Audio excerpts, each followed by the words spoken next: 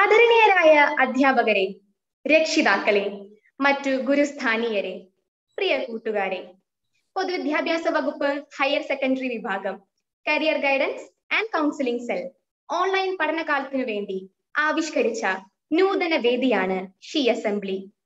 ഇന്ന് രണ്ടായിരത്തി ഇരുപത്തി ഒന്ന് ഓഗസ്റ്റ് ഇരുപത്തിയൊമ്പത് ഞായർ ഷീ അസംബ്ലിയുടെ ഒരു പുത്തൻ എഡിഷനിലേക്ക് ഏവർക്കും സ്വാഗതം. ആമുഖമായി തന്നെ ഇന്നത്തെ ഷീ അസംബ്ലി നയിക്കാൻ അവസരം ലഭിച്ച പാലക്കാട് ജില്ലയ്ക്ക് വേണ്ടി സ്നേഹവും നന്ദിയും അറിയിച്ചു കൊണ്ടു തുടങ്ങുന്നു. ഞാൻ Hiba Nasrin K M G H S S Chathanur Palakkad higher secondary സ്കൂളിലെ രണ്ടാം വർഷ വിദ്യാർത്ഥിനി. മനുഷ്യ മനസ്സുകളെ ഒരുമിപ്പിക്കുന്ന മഹാശക്തിയാണ് പ്രാർത്ഥന. അത് കാലദേശങ്ങൾക്ക് അതീതമായി ജാതി മതങ്ങളുടെ അതിർവരമ്പുകൾക്ക് അതീതമായി മനസ്സുകളെ ചേർത്ത് നിർത്തുന്നു. മനുഷ്യനെയും പ്രപഞ്ചത്തെയും ചേർത്ത് വിളിക്കുന്ന കണ്ണിയാണ് പ്രാർത്ഥന. പ്രാർത്ഥന ഒരു ശുഭപ്രതീക്ഷയാണ്. നമുക്ക് ഈ വേള പ്രാർത്ഥനയോടെ ആരംഭിക്കാം. ഈ വേദിയിൽ നമുക്കായി പ്രാർത്ഥന പകർന്നു തരുന്നത് Shoranur saint Teresa's higher secondary സ്കൂളിലെ സാന്ദ്ര.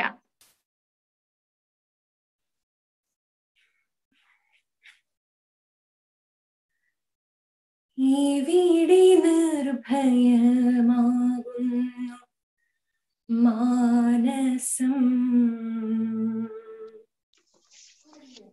ഇവിടെ നിൽക്കുന്നു. ശീർഷം സമുന്നതം. ഇവിടെ വിജ്ഞാന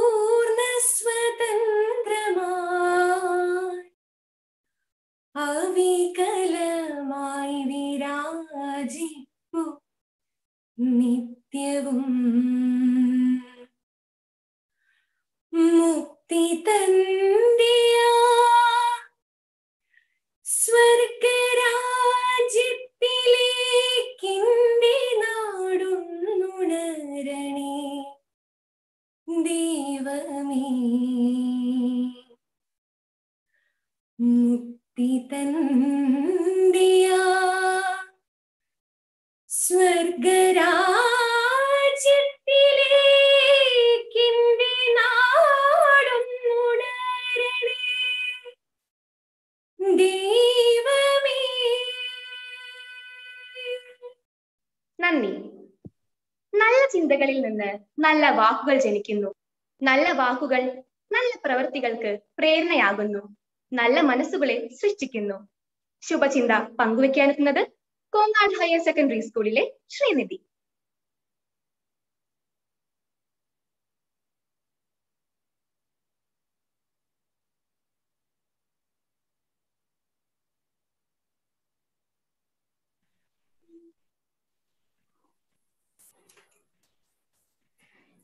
എല്ലാവർക്കും നമസ്കാരം.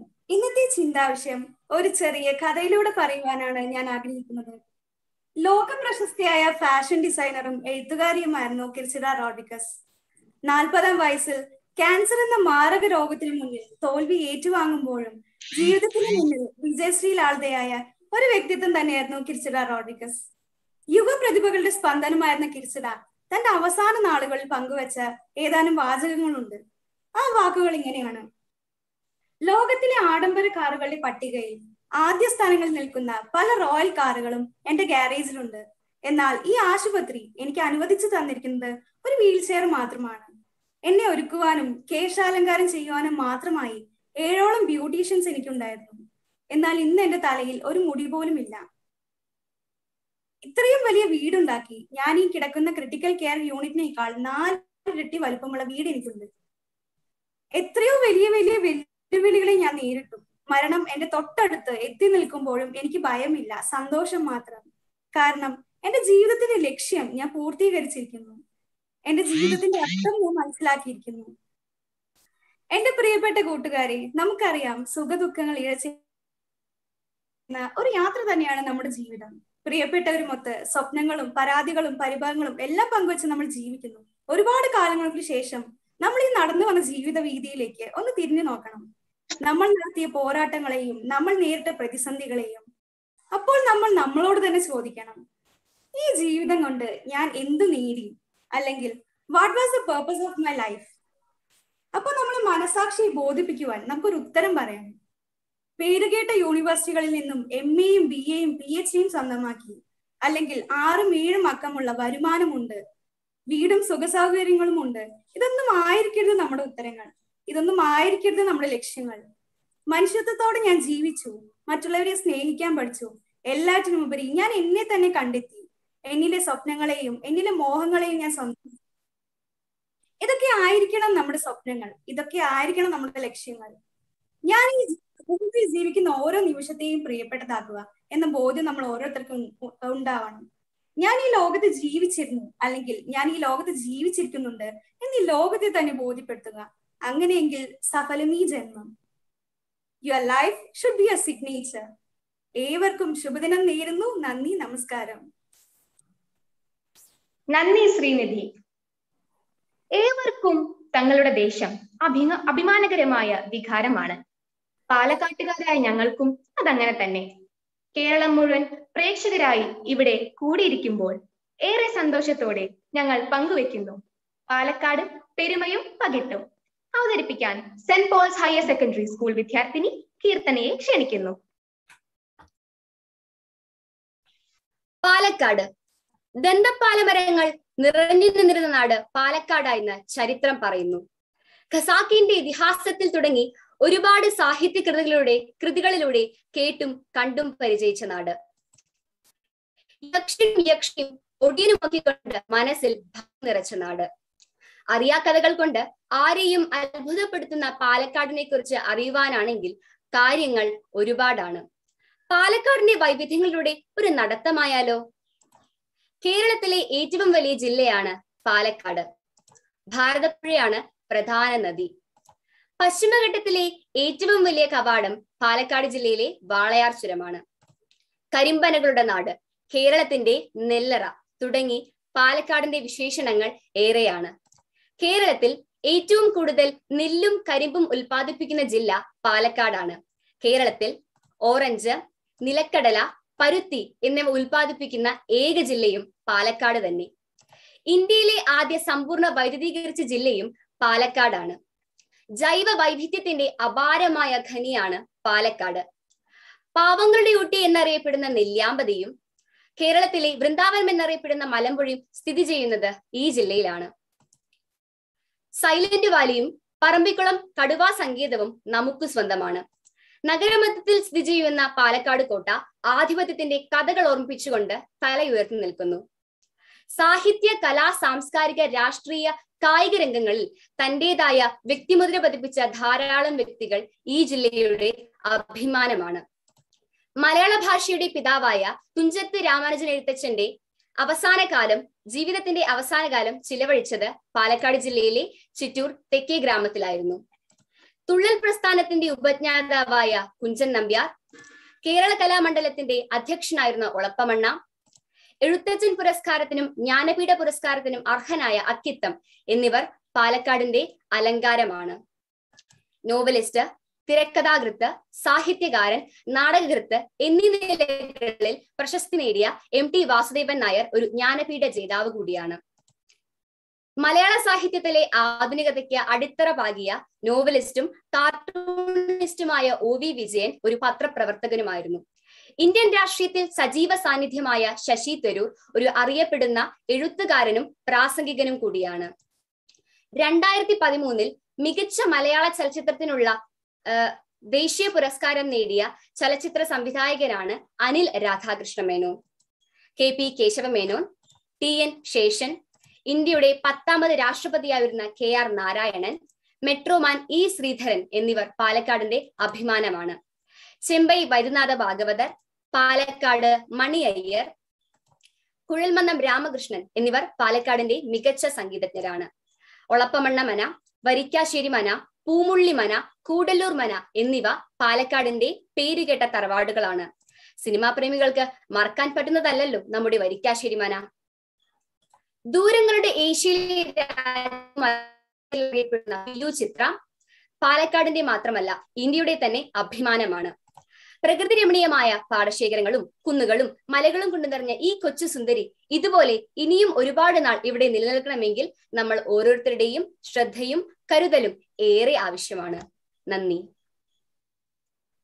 നന്ദി കീർത്തന നാടിന്റെ അറിവുകളേക്കാൾ തിരിച്ചറിവുകളിലേക്ക് നയിക്കാനും സാമൂഹ്യ രാഷ്ട്രീയ മണ്ഡലങ്ങളിൽ വികസനത്തിന്റെ പുതിയ ദർശനം പകർന്നു നൽകാനും പ്രാപ്തയായ ഒരു വ്യക്തിയെ തന്നെ ഇവിടെ മുഖ്യ പ്രഭാഷകയായി പരിചയപ്പെടുത്തുന്നതിൽ ഏറെ സന്തോഷമുണ്ട്. മുഖ്യ പ്രഭാഷകയും അതിഥിയുമായി എത്തിയ ശ്രീമതി ബീന ഫിലിപ്പിനെ പരിചയപ്പെടുത്താനായി കല്ലടി ഹയർ സെക്കൻഡറി സ്കൂളിലെ അഖിലയെ ക്ഷണിക്കുന്നു. നമസ്കാരം. പഴയതിനോട് പറ്റിച്ചേർന്ന് നിൽക്കാനും വിരമിക്കാനുമാണ് സാധാരണ ജനങ്ങൾ ആഗ്രഹിക്കുന്നതെങ്കിൽ പഴയ തലമുറയോടൊപ്പം പുതിയ തലമുറയെയും നെഞ്ചോട് ചേർക്കുന്ന ബീന ടീച്ചറാണ് നമ്മുടെ ഇന്നത്തെ മുഖ്യ അതിഥി കോഴിക്കോട് കോർപ്പറേഷന്റെ നാലാമത്തെ വനിതാ മേയറും നടക്കാവ് ഹയർ സെക്കൻഡറി സ്കൂളിന്റെയും ആഴ്ചവട്ടം ഹയർ സെക്കൻഡറി സ്കൂളിന്റെയും പ്രിൻസിപ്പളുമായിരുന്നു doctor Beena Philip. Life is full of challenges ഒരേ വഴിയിലൂടെ നടക്കാതെ വഴികൾ മാറി ചവിട്ടുക എന്നുള്ള ടീച്ചറുടെ വാക്കുകൾ നമുക്കെന്നും പ്രചോദനമാണ്. പാക്മിയും അതിലുപരി മനുഷ്യസ്നേഹിയുമായ ബീന ടീച്ചറെ ഹൃദയത്തിന്റെ ഭാഷയിൽ പാലക്കാടിന്റെ ഷീ അസംബ്ലിയിലേക്ക് ഞാൻ സ്വാഗതം ചെയ്യുന്നു. താങ്ക് യു പാലക്കാട് ഒരു ഷീ അസംബ്ലി.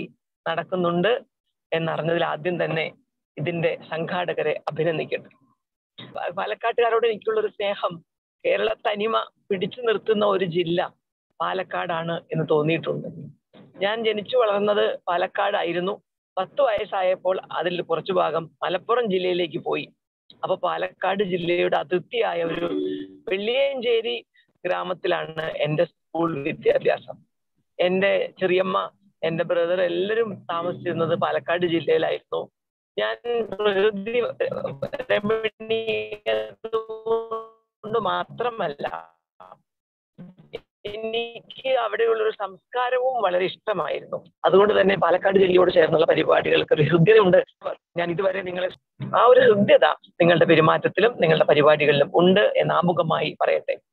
രണ്ടാമത് കേരളം ഇപ്പോഴും സ്ത്രീ അസംബ്ലികൾ നടത്തുന്നു എന്നത് ഒരർത്ഥത്തിൽ നമ്മൾക്ക് എവിടെയോ ഒരു തുല്യത കിട്ടിയിട്ടില്ല എന്ന് വിളിച്ചോതുന്നതിന്റെ ഒരു ലക്ഷണമല്ലേ? അങ്ങനെ വേണോ എന്നൊരു സംശയം എന്റെ മനസ്സിലുണ്ട്.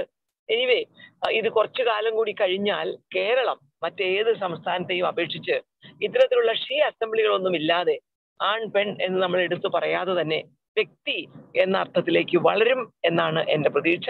അങ്ങനെ വളരണം എന്നാണ് ആഗ്രഹവും. നമ്മൾ ഈ ക്രോസിംഗ് ദ സെക്ഷൽ ബാരിയർ എന്ന് പറയും. എന്ന് വെച്ചാൽ ആണ് പെണ്ണ് എന്ന വ്യത്യാസമില്ലാതെ നമുക്ക് ഒരുമിച്ച് പെരുമാറാനും ഇടപെടാനും നമ്മുടെ സുഹൃത്ത് ഒരു ആൺ സുഹൃത്താണ് അല്ലെങ്കിൽ പെൺ സുഹൃത്താണ് എന്ന് പറയുമ്പോൾ അതിൽ ഒരു പ്രത്യേകത ഒന്നും കാണാതെ അതിനെ അതേപടി സ്വീകരിക്കാനുമുള്ള ഒരു മാനസികാവസ്ഥ എത്തുമ്പോഴാണ് ഞാൻ നേരത്തെ പറഞ്ഞ ഷീ അസംബ്ലികൾ അപ്രസക്തമാകുന്നത്. അതുകൊണ്ട് പ്രിയപ്പെട്ട എന്നെ ശ്രമിക്കുന്നവർ എനിക്ക് കുട്ടികളെ എന്ന് വിളിക്കാം അധ്യാപകരെ എന്ന് വിളിക്കാം. കാരണം എല്ലാവരും ഉണ്ടല്ലോ കൂട്ടത്തിൽ. അതുകൊണ്ട് എല്ലാവരോടും എനിക്ക് പറയാനുള്ളത് ഒരു അഞ്ചു വർഷത്തിനുള്ളിൽ ഈ പെണ്ണുങ്ങൾ മാത്രം എന്ന് പറയുന്ന അല്ലെങ്കിൽ ഈ ആൺപെൺ വ്യത്യാസത്തെ എടുത്തു പറയുന്ന തരത്തിലുള്ള പരിപാടികൾ ഉണ്ടാവാതിരിക്കട്ടെ എന്നാണ് എന്റെ ആഗ്രഹം.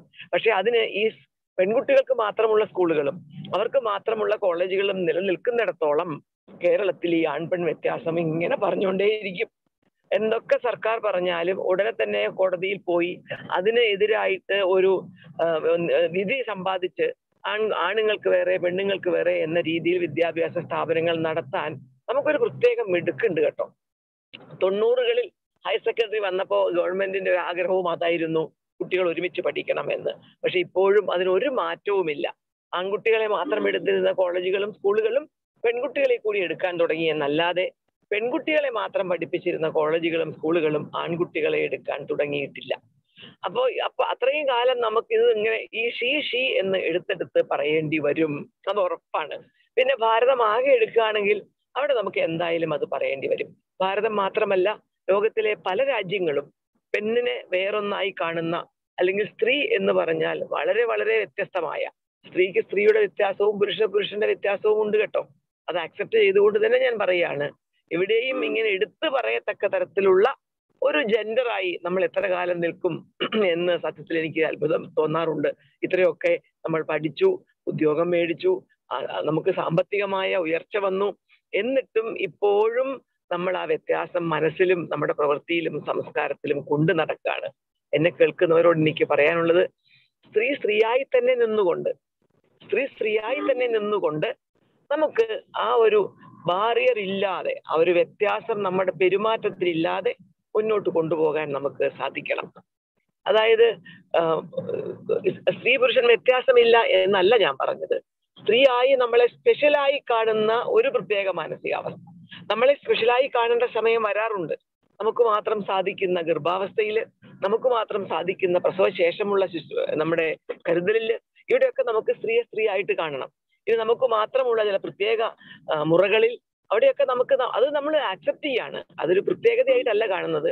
അതിപ്പോ ഒരാൾക്ക് കാലിന് വയ്യെങ്കിൽ നമ്മളൊരു സപ്പോർട്ട് കൊടുക്കില്ല? അതാണായാലും പെണ്ണായാലും. അതുപോലെ നമുക്ക് ആ ഒരു വ്യത്യാസത്തോടെ മാത്രം നോക്കി കാണാൻ കഴിയുന്ന ഒരു അവസ്ഥയിലേക്ക് നമ്മൾ വരണം. അതുകൊണ്ട് ഇത് കണ്ടക്ട് ചെയ്ത ഇതുവരെ ഞാൻ ശ്രദ്ധിച്ച കുട്ടികളൊക്കെ തന്നെ വളരെ നന്നായി പഠിച്ച് പ്രിപ്പയർ ചെയ്ത് കൃത്യമായ ഭാഷയിൽ അവതരിപ്പിച്ച് ഇത് കേൾക്കുന്ന ഏതൊരാൾക്കും അങ്ങേ അറ്റത്തെ ഒരു അഭിമാനം തോന്നും പെൺകുട്ടികൾ ഇത്ര ഭംഗിയായി നടത്തിയല്ലോ എന്ന്. കാരണം എന്തെല്ലാം പറഞ്ഞാലും നമ്മുടെ മനസ്സിൽ ഇപ്പോഴും പെൺകുട്ടികൾ എന്ന് പറയുമ്പോൾ അതെന്തോ ഒരു താണ അല്ലെങ്കിൽ അത്രയും കഴിവില്ലാത്തത് എന്നൊരു വിചാരമാണ്. ഇതൊക്കെ പറഞ്ഞാൽ കാരണം എന്താന്ന് വെച്ചാൽ ഞാൻ എത്രയോ വേദികളിൽ പോകുമ്പോ അവിടെയൊക്കെ ഏറ്റവും പെൺകുട്ടികൾ അവതരിപ്പിക്കുന്നവർ പെൺകുട്ടികളാണ്. അപ്പോ കേരളത്തിലെ ആൺകുട്ടികൾ അല്പം പുറകോട്ട് പോകുന്നുണ്ടോ എന്നുകൂടി സംശയിക്കേണ്ടിയിരിക്കുന്നു. പെൺകുട്ടികൾക്ക് കൂടുതൽ പ്രാധാന്യം വരികയും കൂടുതൽ പഠിപ്പും കിട്ടുമ്പോൾ അവർ ആൺകുട്ടികളെ സൈഡിലാക്കി മുന്നോട്ട് കയറുന്ന വിദ്യാഭ്യാസ രംഗത്ത് ഇന്നുണ്ട്. അതുകൊണ്ട് ഇത്രേ എനിക്ക് പറയാനുള്ളൂ. നിങ്ങൾ ഇവിടെ ചെല്ലുമ്പോഴും രണ്ടുപേരും ഒരുമിച്ച് നടത്തുക. ആയിരത്തി തൊള്ളായിരത്തി തൊണ്ണൂറുകളിൽ ഞാൻ ഹയർ സെക്കൻഡറിയിൽ വരുമ്പോ ഏത് പരിപാടിക്കും ഒരു ആൺകുട്ടിയെയും ഒരു പെൺകുട്ടിയെയും ഒരുമിച്ച് വിളിക്കും. ഏത് കോമ്പയറിംഗ് നടന്നാലും ഒരാൺകുട്ടി കുറച്ച് പറയും പിന്നെ പെൺകുട്ടി പറയും. ആ രീതിയിലൊക്കെ ഞാൻ കുട്ടികളെ ട്രെയിൻ ചെയ്തിട്ടുണ്ട്. ഒരു വ്യത്യാസവും ഇല്ലാതെ എപ്പോൾ ഗ്രൂപ്പുകൾ ഉണ്ടാക്കിയോ അവിടെ ആൺകുട്ടിയും പെൺകുട്ടിയും ഏതാണ്ട് ഒരേ എണ്ണമാണ്. കാരണം ക്ലാസ്സിൽ ആൺകുട്ടികൾ കുറയുമ്പോൾ നമുക്ക് ഒരേ എണ്ണം കിട്ടില്ലല്ലോ. പക്ഷെ എല്ലാ ഗ്രൂപ്പുകളിലും ഈക്വൽ ആയിട്ട് ആൺകുട്ടികളുടെ എണ്ണം അവർ കുറവായതുകൊണ്ട്. ഞാനല്ല പെൺകുട്ടികളാണ് കുറവെങ്കിൽ പെൺകുട്ടികളുടെ എണ്ണം എല്ലാ ഗ്രൂപ്പിലും ഒരുപോലെ കൊടുക്കാൻ ശ്രദ്ധിച്ചിട്ടുണ്ട്. എന്റെ എല്ലാ ഗ്രൂപ്പുകളിലും ഞാൻ കുട്ടികളെ ആൺപെൺ വ്യത്യാസമില്ലാതെ ഒരുമിച്ചിരുത്തിയാണ് ഗ്രൂപ്പ് വർക്കുകൾ കൊടുക്കാറുള്ളത്. അവർക്ക് ഇരുന്ന് വർത്തമാനം പറയാൻ അവർക്ക് വേണ്ടി മരച്ചുവട്ടിൽ സിമെന്റിന്റെ വട്ടത്തിലുള്ള കെട്ടുകൾ ഉണ്ടാക്കി സ്കൂൾ വിട്ടാലും നിങ്ങൾ ഇവിടെ ഇരുന്ന് വർത്തമാനം പറഞ്ഞു പോയാൽ മതി എന്ന് പറഞ്ഞിട്ടുണ്ട്. കാരണം അത് ആവശ്യമാണ് ഈ സമൂഹത്തിൽ മാനസികമായ നമ്മുടെ ആരോഗ്യമുള്ള ഒരു മാനസികാവസ്ഥയ്ക്ക് രണ്ട് കൂട്ടരും ഈ പ്രകൃതി നിലനിൽക്കണമെങ്കിൽ ഇത് രണ്ടും വേണമല്ലോ. അപ്പൊ അവർ രണ്ടുപേരും ഒരുമിച്ചിരുന്ന് വർത്തമാനം പറഞ്ഞും. അവരുടെ ചിന്തകളെ പങ്കിട്ടും അവർക്ക് അങ്ങോട്ടും ഇങ്ങോട്ടുമുള്ള ഒരു അസ്പർശ്യത അല്ലെങ്കിൽ അവർക്ക് ഒരു വളരെ വലിയ വ്യത്യാസമുണ്ട് എന്നുള്ള തോന്നൽ ഒഴിവാക്കാനും ഒക്കെ ശ്രമിച്ചിട്ടുണ്ട്. കുട്ടികൾ അതിൽ എന്നോട് നന്ദി പറഞ്ഞിട്ടുമുണ്ട്. അവരുടെ ജീവിതത്തിലെ പല പ്രശ്നങ്ങൾ വരുമ്പോഴും അവർക്ക് അതിനെ നേരിടാനുള്ള ഒരു തന്റെ ഇടം കിട്ടി എന്ന് അവർ പറയാറുണ്ട്. അതുകൊണ്ട് ഈ she assembly should be strengthening our womanhood നമ്മുടെ സ്ത്രീത്വത്തെ ആ സ്ത്രീത്വത്വം ഉണ്ട് കേട്ടോ. മാനുണ്ട് പോലെ തന്നെ വുമൺഹുഡും ഉണ്ട്. അതിനെ ശക്തിപ്പെടുത്താനായിരിക്കണം നമ്മുടെ ഓരോ പരിപാടികളും. ഈ പരിപാടി ശ്രദ്ധിക്കുന്നവർക്ക് തീർച്ചയായിട്ടും സ്ത്രീ എന്നതിൽ ഒരു അഭിമാനം തോന്നും. അത്ര മെടുക്കത്തികളാണ് ഇതൊക്കെ അവതരിപ്പിക്കുന്നത് പറയുന്നതും നമുക്ക് വരാൻ പോകുന്ന കുട്ടി നമ്മുടെ രമ്യ ഹരിദാസ് ആണ് വളരെയേറെ മിടുക്കത്തിയായ ആ മിടുക്ക് കണ്ടുകൊണ്ട് അന്ന് രാഹുൽ ഗാന്ധി കൊണ്ട് മുന്നോട്ട് ഒരു എം പി ആണ് നമ്മളോട് സംസാരിക്കാൻ പോകുന്നത്. എനിക്ക് രമ്യയെ നേരിട്ട് കണ്ട് പരിചയമില്ലെങ്കിലും എനിക്ക് രമ്യയുടെ പ്രസരിപ്പും രമ്യയുടെ പ്രസംഗമൊക്കെ ഞാൻ കേട്ടിട്ടുണ്ട്. അപ്പൊ അതുകൊണ്ട് ആ തരത്തിൽ ഒരു നല്ല വ്യക്തിത്വമായി വളരണം. രാഷ്ട്രീയത്തിനപ്പുറത്തേക്ക് വ്യക്തിത്വങ്ങൾക്ക് സ്വാധീനമുണ്ട്. അത്തരത്തിലുള്ള വ്യക്തിത്വമായി രമ്യ വളരും എന്നെനിക്ക് ഉറപ്പുണ്ട്. കാരണം രമ്യയ്ക്ക് ആ കഴിവുള്ള ആളാണ്. അതുകൊണ്ട് രമ്യയെ കൂടി അഭിനന്ദിച്ചുകൊണ്ടും ആദരിച്ചുകൊണ്ടും ഞാൻ നിങ്ങൾ എല്ലാവരെയും the brains be- be- behind the Shi Assembly as well as those who are in the Shi Assembly deserves a big salute. Thank you very much and congratulations to all of you. പാലക്കാടിന്റെ അടുത്ത ഒരു അഭിമാന മുഹൂർത്തത്തിനാണ് ഈ വേദി സാക്ഷ്യം വഹിക്കാൻ പോകുന്നത് പാലക്കാട് ജില്ലയിലെ ഹയർ സെക്കൻഡറി സ്കൂളുകളിലെ വിദ്യാർത്ഥികൾ നയിക്കുന്ന ഷീ അസംബ്ലിയുടെ ഔപചാരിക ഉദ്ഘാടനം ഉദ്ഘാടനം വഹിക്കുന്നതായി ഇവിടെ സന്നിഹിതരായിരിക്കുന്ന വിശിഷ്ട വ്യക്തിയെ പരിചയപ്പെടുത്തുന്നു G H S S Vattenad സ്കൂളിലെ ഫിദ ഖാദർ. ജന്മം കൊണ്ട് കോഴിക്കോട്ടുകാരിയും കർമ്മം കൊണ്ട് പാലക്കാട്ടുകാരിയുമായ ആലത്തൂരിന്റെ പ്രിയ എം പി. കേൾവിക്കാരുടെ ഹൃദയം കവർന്നെടുക്കുന്ന നാടൻ പാട്ടുകാരി. പത്തൊൻപത് പുരുഷ എം പിമാർക്കൊപ്പം കേരളത്തിൽ നിന്നും ഇന്ദ്രപ്രസ്ഥത്തിലേക്ക് എത്തിയ കേരളത്തിന്റെ സ്വന്തം പെങ്ങളുട്ടി. വിദ്യാർത്ഥി രാഷ്ട്രീയത്തിലൂടെ രാഷ്ട്രീയ രംഗത്തേക്ക് എത്തുകയും പ്രമുഖ ഗാന്ധിയൻ സംഘടനയായ ഏകതാ പരിഷത്തിന്റെ മുഖ്യ പ്രവർത്തകയായി മാറുകയും ചെയ്തു. രണ്ടായിരത്തി പതിനഞ്ചിൽ കുന്നമംഗലം ബ്ലോക്ക് പഞ്ചായത്ത് പ്രസിഡന്റായി തെരഞ്ഞെടുക്കപ്പെടുകയും രണ്ടായിരത്തി പന്ത്രണ്ടിൽ ജപ്പാനിൽ നടന്ന ലോകയോജന സമ്മേളനത്തിൽ പങ്കെടുക്കുകയും ചെയ്തിട്ടുണ്ട്. കേരളത്തിന്റെ പ്രിയ എം പി. പ്രിയപ്പെട്ട രമ്യ ഹരിദാസിനെ പാലക്കാടിന് വേണ്ടി നിങ്ങൾക്ക് എല്ലാവർക്കും മുന്നിൽ അഭിമാന പുരസ്സരം ഞാൻ പരിചയപ്പെടുത്തുന്നു. എല്ലാവർക്കും നമസ്കാരം.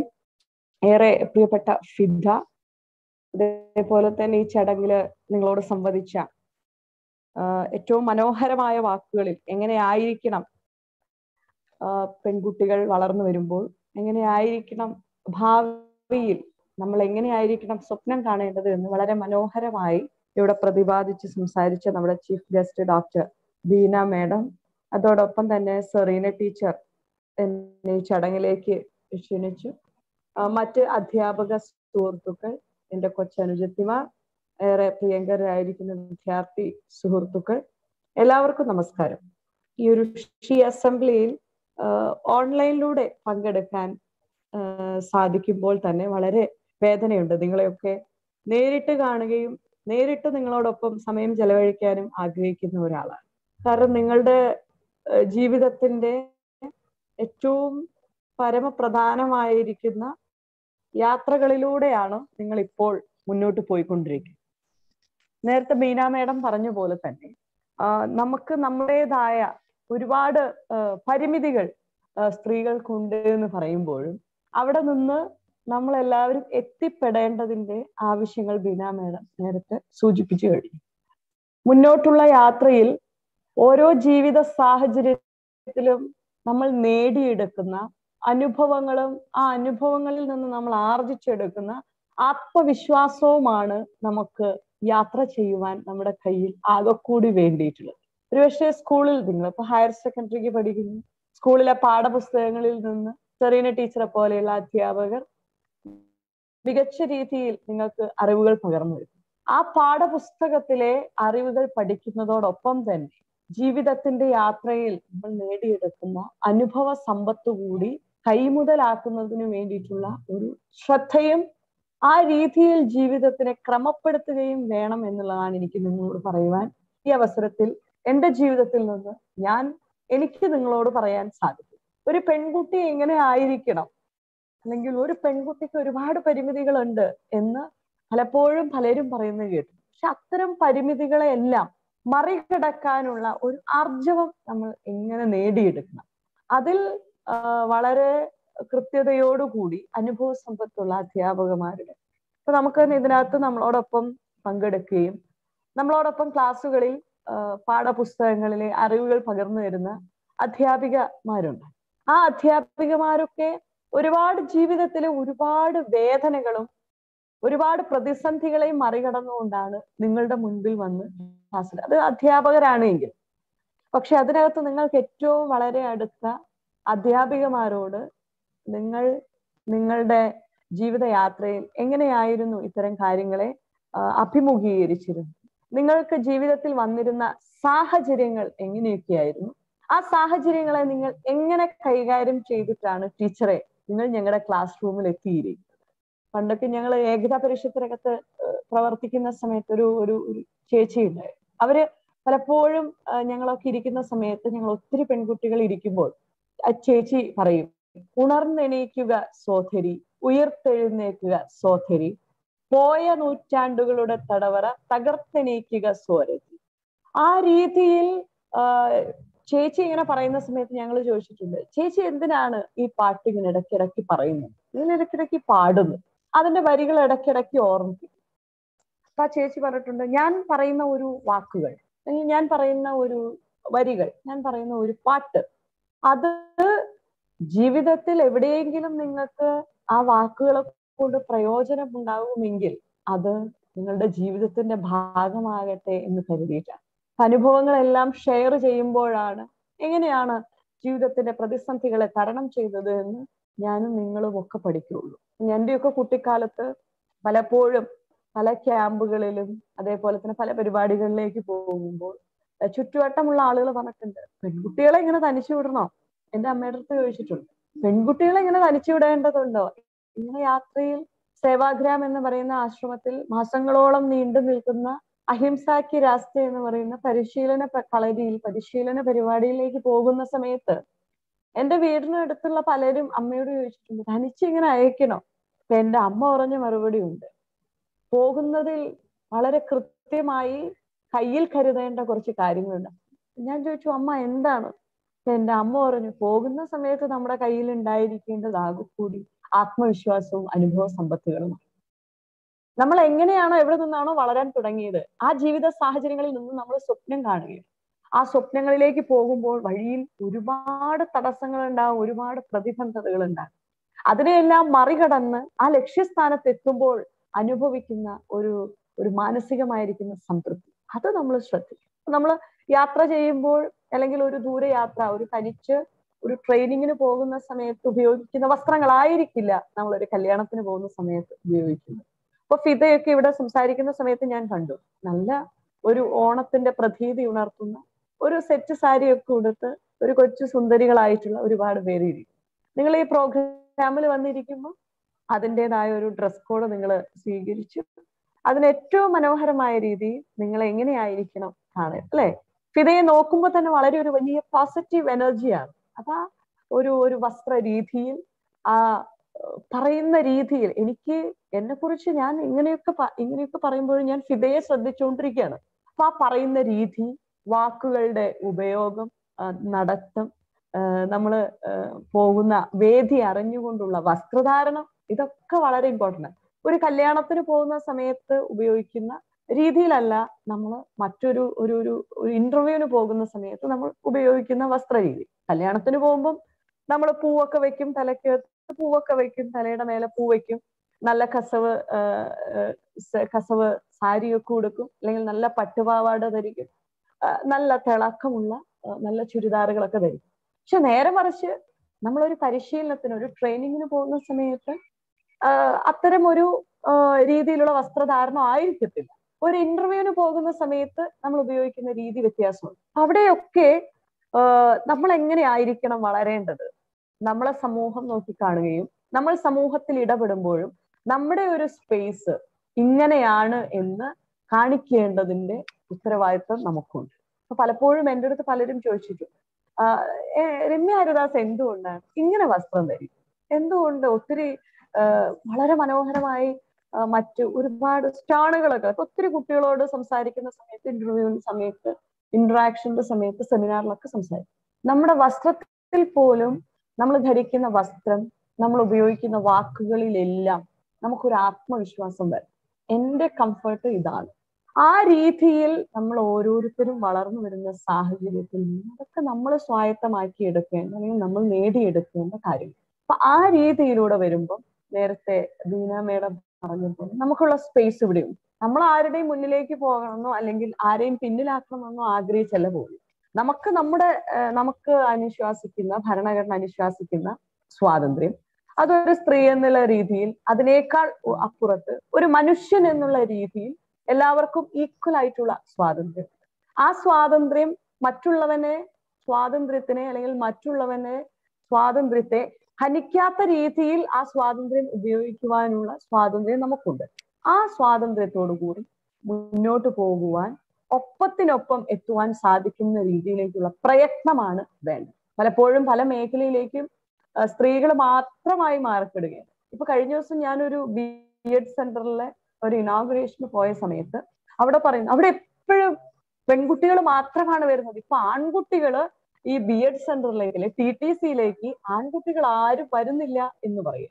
അപ്പൊ നമ്മൾ മനസ്സിലാക്കേണ്ടത് ഒരു ബി എഡ് സെന്റർ ആണെങ്കിലും ആ ബി എഡ് സെന്ററിനകത്ത് അത് ആൺ പെൺ വ്യത്യാസമില്ലാതെ അതിനകത്ത് ഈക്വൽ ആയിട്ട് കാരണം അധ്യാപികമാരായിട്ട് വരും അവിടെ എല്ലാ ആളുകളും അവിടെ പഠിപ്പിക്കുന്നതിന് വേണ്ടിയിട്ട് വേണം.